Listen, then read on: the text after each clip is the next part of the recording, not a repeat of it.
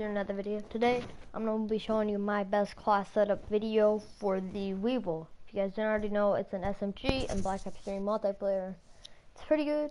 In a recent update, uh, they buffed it and, well, yeah, let's just say it's overpowered.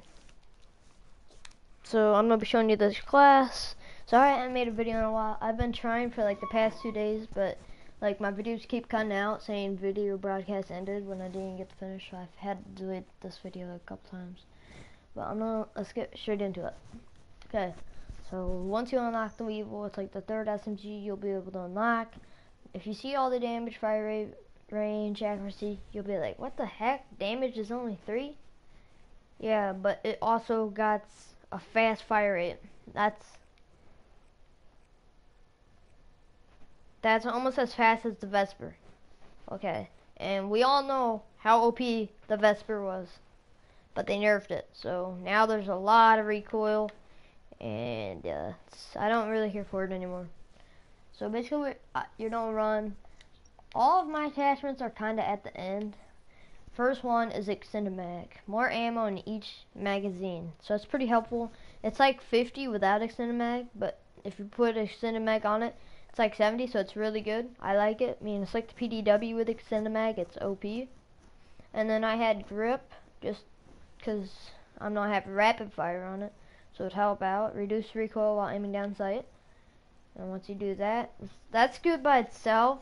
But if you want to make it better, just put rapid fire. Increase rate of fire. That's probably my favorite attachments on this gun.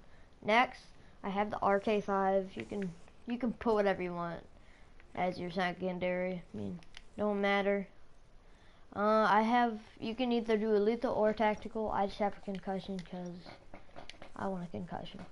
And then as my perk one, use Sixth Sense, displays a mini indicator with the direction of nearby enemies. I just started using this. Is pretty useful. I I would uh, I would recommend it. Um, Fast Hands, swap weapons faster, and aim faster after sprinting. This is extremely useful because you're going to be running a lot. So aiming after sprinting, that's pretty good. Faster. And then blast suppressor, of course, like every other class. No mini map uh, thrust when you're jumping. There's like a there's like a big being on the map or a circle around you when you jump or anything. And, and it just makes the sound a little more suppressed. So, and what you don't need for the third attachment, you don't have to have like a primary gunfighter calling uh, wildcard thing. So that's going to be it for this video. Make sure to like, comment, and subscribe. See ya. Hope you did enjoy. Bye.